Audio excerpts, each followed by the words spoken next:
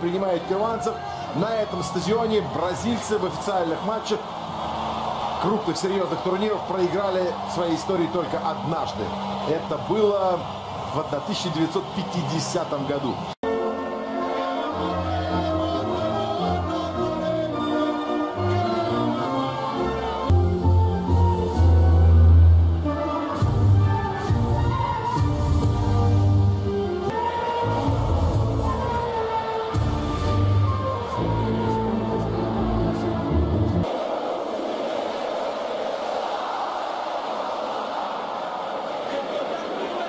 Вернуться разочарованием для гиганта.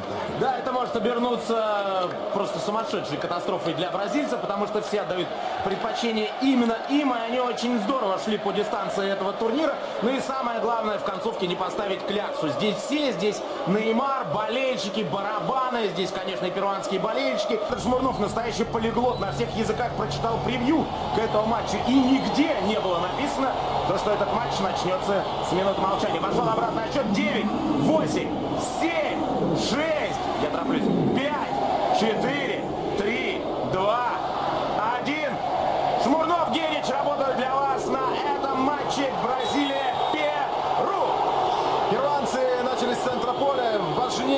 вновь игра. А у сборной Бразилии есть потери. Это Виллиан, полузащитник, который нападающий. Да, действительно, в Европе такого турнира нет. Был маленький Лига наций, который теоретически мог выиграть Перуанскую сборную со счетом 5-0. И там э, уже после первого тайма все было ясно. Там 3-0 вопросов э, было к суде. И в полуфиналах были вопросы по судейству. Если на групповой с, со сборной Бразилии, мимо на этом турнире, э, твоя одна из любимых выражений, глубинный опорный. Да, или глубинный. И вообще, напомню, Бразилия не выиграла у Парагвая за 90 минут. Ничья 0-0. Странное решение Конмебол. Сказал, его нет. И так сборная Перу. Штрафной. Кристиан Куэва бьет, и Алисон провожает мяч, который пролетел рядом со штангой, но здесь все контролировал и уровней, что он может быть тем же заменителем Неймара, например, в Барселоне. Перуанцы продолжают вести себя смело. То есть могло а быть и 6. Могло быть и 6, и там Гальес уже взял пенальти. Но-но-но-но-но. Ну как? Но-но-но. Есть данные, были сигналы.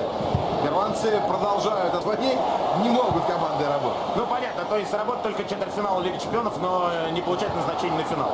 Ну, хорошая контратака, нет там падения игрока перуанской сборной, удар по ногам достается Алексу Сандра, и штрафной назначает арбитр Тода, Тоба. Я забил первый мяч после стандарта ворота сборной Перу на групповой стадии. Хорош. Жезус. Э, ну, Аргентиной сыграл скверно. Но начинал вообще э, Ришарлисон э, с Неррисом этот турнир у бразильцев. Титов недоволен. Сейчас что разбивает игру, обрабатывает против него один, второй, третий на подстраховке. Жезус. Подача.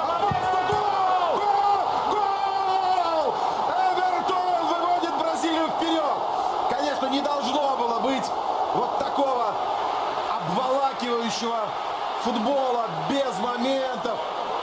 Бесконечно. Бразилия благодаря Габриэлу Жезусу создает вот этот свой шанс и сразу его реализует. Браво. Просто молодцы. Он ведь второй уже такой финт совершил, перекладывая мяч ноги на ногу. В Европу на какой-нибудь хороший сочный контракт с европейским клубом. Дани Алвес, подача. Мне кажется, второй мяч сборной Бразилии. Уже Константин об этом э, коротко упомянул, представляя весь турнир. Э, Все поприличнее. И будем надеяться, что мяч здесь ходит. Играет в режиме Бразилии. У них очень хорошая аритмия. А, вот даже отрезками, если брать, они где-то могут взорвать. О, может срезать угол. Фермино, Каутиньо. И мяч рядом со штангой проходит. Медленно-медленно, но в последний момент взрыв. И, пожалуйста, Бразилия э, подходит к голевому моменту. Да, бывшие партнеры по Ливеру. Например, э, как назвали Тигр. Длинный пас вперед и Габи Жезус. Мы вот э, Алис. И Геррера, конечно, и Карильон. Подача. И вот он удар центрального. Там надо побороться Чем-то еще. на Валерия Кузьмича не помнишь его похож? Гарека? Да. А, ну, и, ну и на Луиса Утиньо, заброс штрафную, обратно на Артура.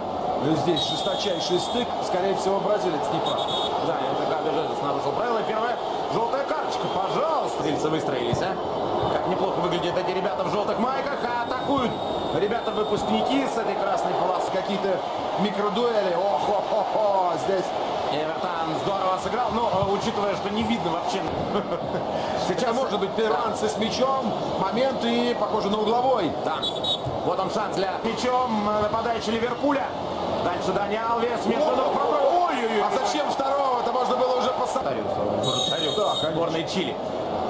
Дани Алвес у мяча. Передача на таком бреющем а, подаче. Вот это взаимозаменяемость постоянно есть у бразильцев. Передача.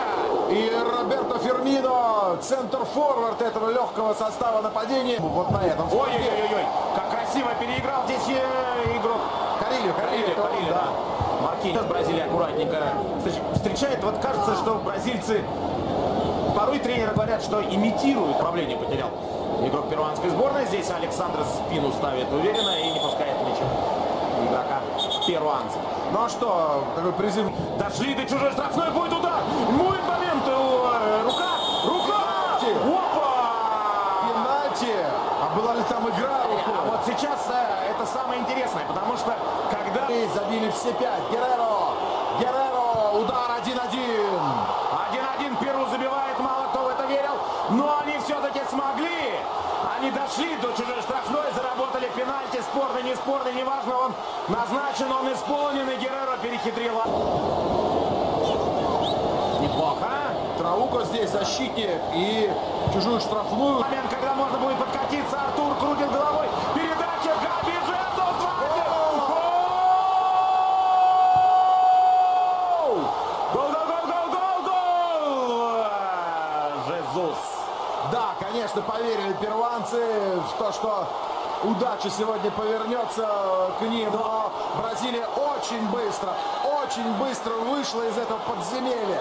Какие же они молодцы. Это не подкат, а подкатище, который сейчас сделал Роберто Фермино. Фермино, который выждал вот. Два полузащитника и линия атаки слева 19 Эвертон, справа 9 Бразилии в атаке, подача. Алекса Сандра, удар не получается. Тиаго Силва на мяч штрафной сборной. Что хорошего? Почти сотню, да. Уже выбили удар Дани Алвеса. Линия перуанцев, но мяч выскочил. И тут желтая карточка бесспорная.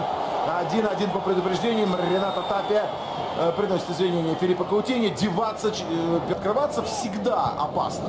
Но, по-моему, они выберут первый вариант. Фермино, дальше Эвертон, неудачно. Жезус, Каутиньо, штрафной удар! Ой-ой-ой, какой удар! Филиппо Каутиньо практически с места пробил сейчас. Каутиньо, мяч у него немножечко под ногой был. Вот штрафной площадь. Хороший глубокий заброс. э, Пенальти? Да нет, конечно. Ну, был открытый сейчас Жезус. Момент Фермино! Не попал по мячу Роберто Не Фермино. Папиньо, не Пападиньо сейчас даже был Ферминьо. А, чуть голову. Ну а дальше этих моментов было еще три. Это голы. Карильо, подача мяч через голову Дани Алвеса. Перелет. Не Бразилия. Ты как э, Хосе Пауло Геррера.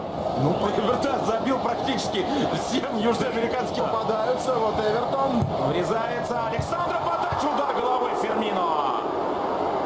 Рядом со штангой. Вот здесь он сыграл как на... Флорес и все время... э, Ох, как здорово сыграл Эвертон! И удар Ковач создал свою голевую. Он же мог остановиться. Дело было на чужой половине поля. Остановиться, отдышаться, заехать на пидстоп, поменять бутсы и так далее. Перуанцы. И обрати внимание, Казимира просто не уходит э, с э, позиции, как ты правильно заметил. Очень интересная позиция. Он все время получает мяч между линиями, быстро разворачивается и это создает направо. Здесь Карильо. Подача. Но там нет Герреро. Там и без Геррера тайме. Перу перехватывает инициативу постепенно. И Здорово! центру какой проход Куэва, передача! С мяча сборной Бразилии. Подача. Здесь даже никого из ребят в белой форме. Маркинес мяч выбивает там а, Не только ближайших партнеров, но всю команду к э, вот этому прессингу. Эвертон. нес Конечно.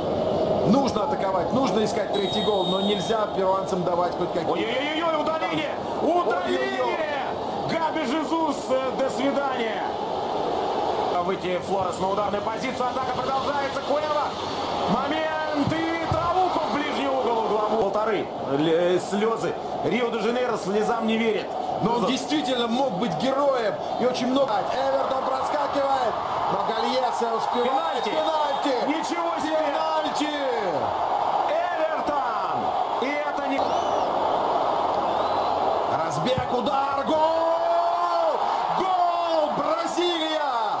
Выиграет девятый трофей в истории Копа Америка. Педро Гальесе как мог летел в этот угол, в тот угол, где он раздобыл команде путевку в полуфинал. Когда... От него же. 20 минут команды сыграли, и все-таки перуанцам нужно как-то менять